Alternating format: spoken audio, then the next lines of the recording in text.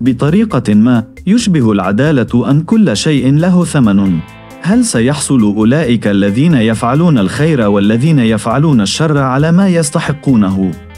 يتم احتجاز سلطان وصالح بناء على إشعار إلياس حيث يتم أخذ الأموال التي تلقوها من أتهان عائدات الجريمة محاصرة وخلاصهم يعتمد على أردى في السوق من أجل حياته ومن ناحية أخرى تواجه هوليا مخاوفها من فقدان والدها الذي وجدته بعد سنوات عديدة أفسون وسلطان يضعان خططا جديدة لإيذاء بهار القديمة لم تعد موجودة ولن تتقدم خططهما كما يحلو لهما وستهزم بهار أعداءها بالقوة التي تمتلكها. صدم الجميع عندما أعلنت أفس أمام الكاميرات أنها تزوجت من أردى أي أنها أصبحت الآن عروس عائلة أتهان. بعد هذا التطور الذي لم يتوقعه أحد تحاول هوليا جاهدة ألا تصاب بالجنون بينما يغضب محمد أمير. يعتقد الجميع أن هناك شيئا ما في هذا الأمر ولا يتوقع أن يفعل أردى شيئا كهذا إلا إذا كان هناك موقف استثنائي. يشعر إلياس أيضا بالقلق من وقوع إيفسو في مواقف خطيرة مرة أخرى بسبب تورطه في مثل هذه اللعبة. ولكن بغض النظر عما يحدث في النهاية فهو يفكر في فعل كل شيء لإنقاذ ابنته. ضد أفسن بهار لن تسمح بسرقة حياتها مرة أخرى لكن سلطان وأفسن يخططان للسيطرة على عائلة أتهان. تزداد الأمور تعقيدا كل يوم في منطقة كيسمت زينب التي تتلقى أخبار زواج أردى وأفسن تدخل بسرعة طريقا لا نهاية له. بينما كانت بهار تتعامل مع صعوبات عاطفية عندما كانت مع أتيش أدركت في النهاية أن الملاذ الوحيد الذي يمكنها أن تجد فيه مأوى هو مع عائلتها. أفسن أخيرا على وشك تحقيق هدفها وما تريده. عندما يحدث كل شيء لأردى، ستعود أفسن إلى القصر أقوى مما كانت تعتقد.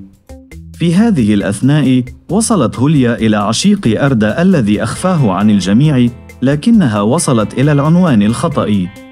تصل هوليا إلى زينب وسيكون لها تأثير سيء على حياتها. عندما تصبح أفس أخيرا أتهان حقيقي لا يدرك بهار وهوليا الكوارث الكبيرة التي ستحدث لهما. تعلم هذا يخلق صدمة كبيرة في حياتهم.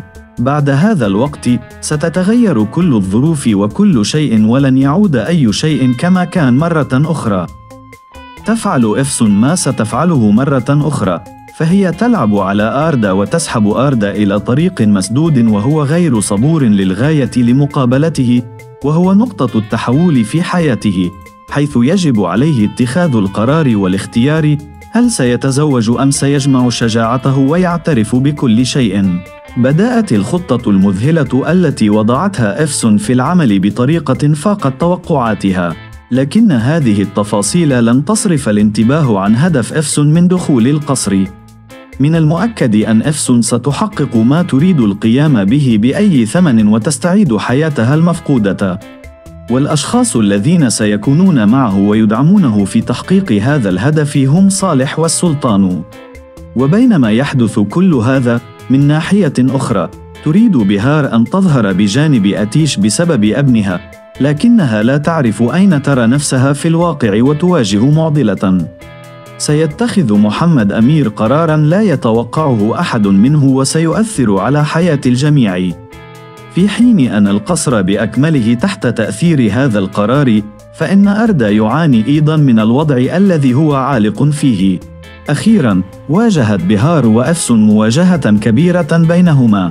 بعد هذه المواجهة لن تعود حياتهم كما كانت بينما تقرر بهار العودة إلى القصر تضع إفسون خطتها موضع التنفيذ للحصول على فرصة العودة إلى القصر. يصل التقارب بين زينب وأردى لاحقا إلى مستوى يجعل زينب منزعجة للغاية. اشتعلت شرارة القتال بين فوليا وحسرت. لن يعود أي شيء كما كان مرة أخرى لأي شخص، وهذه المرة يلعب الجميع بأوراقهم بقوة أكبر. تتقابل أفسون وبهار وجها لوجه وتتساقط الحجارة من تنانيرهما وتعود بهار إلى القصر وتضع إفسون خططها موضع التنفيذ للعودة إلى القصر ما يحدث بين زينب وأردى سيزعج زينب ويجعلها تندم يندلع القتال بين فوليا وحسرة ولن يعود أحد كما كان مرة أخرى وسيكون الأمر قاسيا تواصل إفسون دفع ثمن باهظ لأفعالها. كل ما تعيشه إفسون في السجن سيقودها لاحقا إلى طريق لا رجعة فيه. بهار التي كانت لها دائما مكانة مهمة في حياتها ستصبح الآن عدوا لإفسون. الربيع يشبه الفضاء الفارغ. الألم الذي تعاني منه يجعل بهار تشعر بالوحدة أكثر فأكثر. حقيقة وجود طفل لن تنهي حبها لأتيش. لكن سيكون من الصعب جدا على بهار قبول ذلك. وبينما تعاني بهار من كل هذا فهي لا تدرك حتى الخطر الذي يقترب منها. يتم القبض على إفسون عندما تعتقد أن بهار قد سامحها ولجأ إليها. سوف تدفع إفسون الآن ثمن ما فعلته. ومع ذلك فإن الثمن الذي سيدفعه سيكون باهظا جدا. في فصل الربيع يستمر كل شيء في التجمع. أخفى أتيشا على مضض حقيقة أن لديه ابنا من بهاري لكن الحقيقة لا بد أن تظهر عجلا أم أجلا. هل ستقبل بهار أخيرا والديها الذين اعتنوا بها خلال هذا اليوم العصيب؟ بينما تواجه بهار كل الألم الذي عانت منه يهتزها أيضا انتحار إلياس. لكن هذا لا يمنع بهار من الشكوى من أفسون الحياة الحقيقية بدأت للتو بالنسبة لبهار والحقائق أكثر من كافية لمحاسبتها. يجب على الجميع أن ينالوا العقوبة التي يستحقونها. ومن ناحية أخرى لا تستطيع إفسون تحمل تكاليف الذهاب إلى السجن. وبمساعدة عمته سلطان قرروا الذهاب بعيدا والهرب. لكن هذه المهمة ليست سهلة كما يعتقدون. فظهور السر هو بداية حياة جديدة لإفسون وكذلك لبهار لن يكون من السهل على بهار أن تستجمع قواها وتتقبل عائلتها الحقيقية بعد أن علمت أنها تعرضت للخداع منذ سنوات بالنسبة لإفسون الوضع أكثر تعقيداً إن ألم فقدان بهار أعمق من الثروة التي لا يستطيع الحصول عليها. أفسن تشعر بالوحدة عند القيام بذلك. إلى جانب كل هذا، فإن الشخص الأكثر تضرراً من هذا الوضع هو إلياس. إلياس سيدفع ثمناً باهظاً لندمه.